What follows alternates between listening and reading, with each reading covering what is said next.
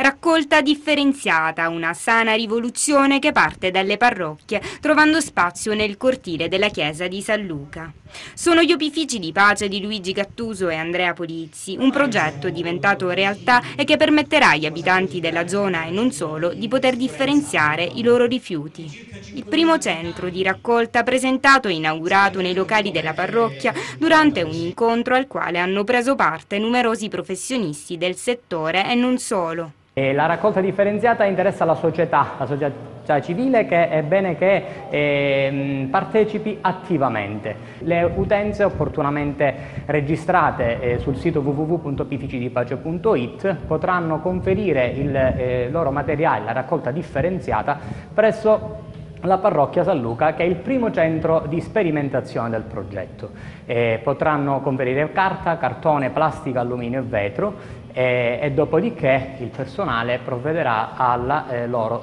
alla loro selezione. Con, eh, con, avendo eh, dire, organizzato questo, eh, questo, progetto in, in parrocchia eh, riteniamo di aver dato ai cittadini la massima possibilità di poter realizzare appunto la, la, raccolta differenziata e allo stesso tempo quello di poter partecipare in maniera più operativa anche a tutte le altre problematiche sociali. Non ci dimentichiamo che questo progetto dà la possibilità alle parrocchie di, di avere un contributo da parte del Comune pari al 15% della, della, um, delle economie realizzate eh, per minore conferimento in discarica e dà ai parroci la possibilità di aiutare fattivamente tutte le situazioni di disagio sociale che ci possono essere. Non ultimo anche la possibilità di intervenire sui, eh, per la manutenzione dei, dei propri stabili che spesso contengono, specialmente le chiese antiche, un notevole patrimonio culturale. Un invito, quello che il parroco della chiesa San Luca, Alfonso Cammarata, ha accolto,